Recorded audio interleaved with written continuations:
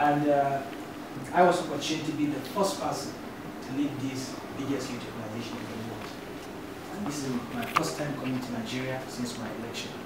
Our election was held in Sri Lanka, where the Vice President, His Excellency Namadi Sambo, was there, present, during our elections.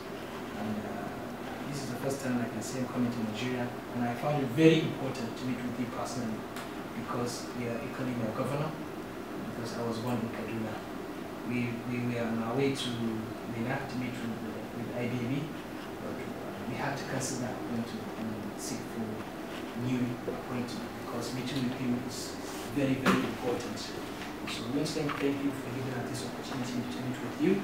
And you are one of the few selected government officials we selected that we meet. And together with me, we have some friends and other members of youth organizations here in Nigeria.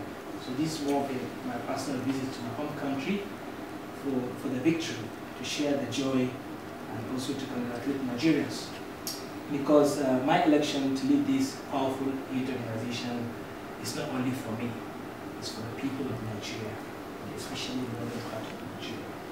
And that is why I, I need no support from my home country, because I know I'm carrying image of the people of this country. And uh, we consider you uh, as equally as youths, because uh, you still in the age bracket of youths. We also recognize the wonderful efforts and pro project you have been doing for development of young people in this in this state. And uh, I have seen uh, myself and I was told and we read from records and we are indeed that silent achiever.